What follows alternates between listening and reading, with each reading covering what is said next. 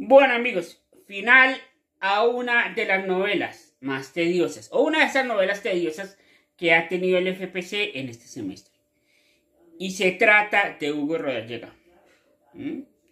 Bueno, recordemos que previamente eh, se citó el tema de un café con Don Tulio y con Hugo Rodallega, que se había acordado en teoría en un live del Gato Arce, un periodista deportivo.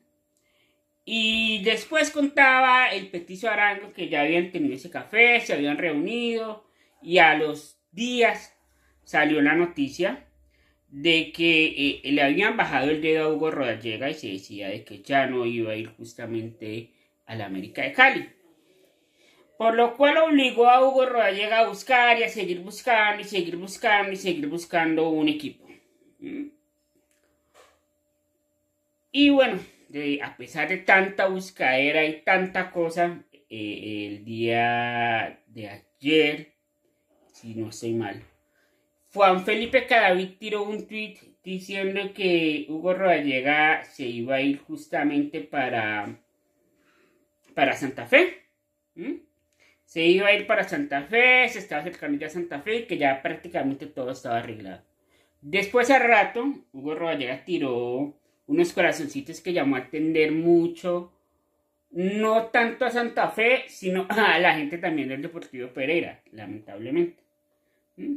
Pero bueno, ya Santa Fe lo comunicó hace poco y dijo que si Hugo Rodallega pasa los exámenes médicos, será nuevo jugador cardenal. Y esta llegada, sin duda alguna, de Hugo Rodallega al FPC es otro gran aporte para que nuestra liga siga aumentando, nuestra liga siga alcanzando nivel y nuestra liga siga prosperando, aún así sea un poquito más y sea un poquito más llamativa dentro del nivel local y pueda obtener un poco más de, espectadores. Porque es que yo siento que hay mucha gente que se ha alejado de la liga colombiana. Ahora sí Santa Fe va a saber qué es tener arquero. No mentiras.